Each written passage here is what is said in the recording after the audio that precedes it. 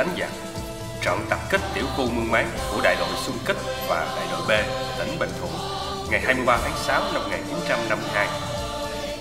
Tiểu khu Mương Máng ở khu vực ngã ba đường sắt Mương Máng Sài Gòn, Mương Máng Ma Lâm, Mương Máng Phan Thiết nằm ở đầu mối giao thông quan trọng và để đối phó với ta nên tiểu khu được tăng cường củng cố và trang bị mạnh, có sức cơ động nhanh. Hoạt động của địch chủ yếu là bảo vệ tiểu khu, bảo vệ đường sắt và kết hợp với quân từ Phan Thiết lên càng quét vào khu tam giác của ta. Tiểu khu có hai đồn, đồn quốc gia và đồn GVS và trên 10 lô cốt lớn nhỏ bao quanh. Đồn quốc gia có một đại đội lớn người Việt, đồn GVS có một đại đội lớn bảo vệ đường sắt. Hai đồn cách nhau 100 mét, chỉ huy chung là một quan hai người Pháp.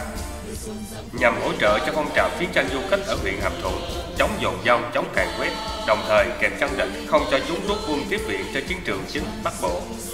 Tỉnh đội Bình Thuận chủ trương đánh diệt tiểu khu Vương Mán và nhiệm vụ này được giao cho đại đội xung kích và đại đội B của tỉnh Bình Thuận. Ban chỉ huy trực tiếp trận đánh này gồm các đồng chí Quách Tử Hách, chỉ huy trưởng, Phạm Hội Chương, chính trị viên, Nguyễn Phương, chỉ huy phó.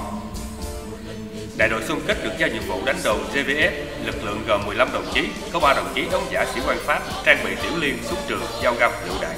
Do đồng chí Nguyễn Ngư, trung đội trưởng chỉ huy, lực lượng tiếp chiến có một trung đội được trang bị hai trung liên do đồng chí Đào, trung đội trưởng chỉ huy. Đánh đồn quốc gia có 12 đồng chí của đại đội xung kích, trang bị tiểu liên, súng trường, dao găm, lựu đạn do đồng chí Võ Đức Nhi, trung đội trưởng chỉ huy. Lực lượng tiếp chiến có một trung đội của đại đội B, trang bị mạnh. Ngoài ra, ban chỉ huy trận đánh còn bố trí đại đội A làm nhiệm vụ chặn đánh quân tiếp viện lên theo đường bộ Mương Máng ngã 2 và sử dụng khẩu DKZ sẵn sàng chi viện cho nơi gặp khó khăn, ưu tiên cho lực lượng đánh đầu GVS. Sau khi hoàn tất các công tác chuẩn bị, lúc 18 giờ 15 phút ngày 23 tháng 6 năm 1952, bộ phận cải trang tập kích tiếp cận mục tiêu. Bằng đội hình hai hàng dọc, đi đầu là một quan ba Pháp vừa đi vừa cười nói tự nhiên, Đến trước cổng đồn, hai tên lính gác người Việt thấy quan ba Pháp vội vòng xuống chào. Quan ba khoát tay đi thẳng vào đồn. Tên thiếu quý đồn trưởng đứng dậy chào liền bị quan hai cải trang của ta nổ súng diệt ngay. Trận đánh bắt đầu. Lựu đạn, tiểu liên nổ dồn dập, bọn địch trong đồn hoàn toàn bất ngờ và bị động. Bọn địch chơi ngồi sân ga chạy về cũng bị ta tiêu diệt. Bộ phận đánh đồn quốc gia đi sau đội hình của bộ phận đánh đồn CVS. Ngay phía trước nổ súng thì chạy luôn vào đồn CVS.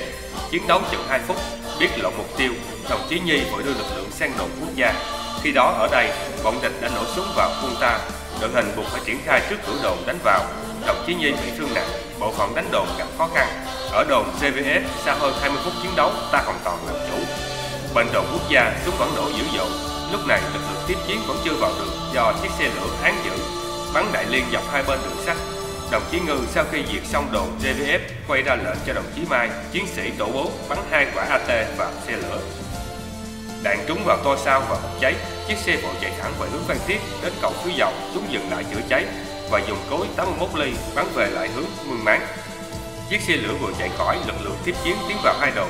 Khẩu SKZ bắn liền hai phát trúng vào lô cốt chính của đồn quốc gia, lực lượng ta phá được cửa và xung phong vào. Sau 30 phút chiến đấu, ta làm chủ luôn đồn này. Đến 19 giờ, các chiến sĩ ta thu toàn bộ chiến lợi phẩm ở hai đồn, đưa ra sân ga để dân công chuyển vào căn cứ. Bộ phận công binh đặt chất nổ, phá hủy đồn chính và các lô cốt. Đội công tác mương máng cùng bộ đội vào khu tập trung để phát động phong trào mãi đến 2 giờ sáng. Ngày 24 tháng 6, ta mới rời trận địa. Kết quả trận đánh, ta diệt hơn 300 tên địch, bắt 12 tù binh, trong đó có hai lính Pháp và tên Trúc phó mật thám, thu hơn trăm súng các loại, phá hủy một khẩu, sơn pháo 75 ly và nhiều quân trang quân dụng. Ta hy sinh hai dân công, bị thương 12, năm bộ đội, 7 dân công. Trận này chỉ huy rất nhạy bén nắm chắc tình hình địch, chọn thời cơ và phương án thích hợp, tạo yếu tố bất ngờ, tiếp cận nhanh, tiến công chớp nhóm, làm cho quân địch không kịp đối phó. Đây là trận đánh táo bạo, đạt hiệu suất cao, ta thương vong ít. Tuy nhiên, do lúc đầu bị lạc mục tiêu nên bộ phận đánh đồn quốc gia để mất thời cơ, trận đánh khó khăn và kéo dài, lực lượng dân công đông tổ chức chưa chặt nên có một số ở xa đến chậm, bị thương vong do trúng đạn cối 81 của địch bắn ở vòng ngoài. Năm quê ta ơi, hầm một năm quê ta hầm năm quê ta ơi, hầm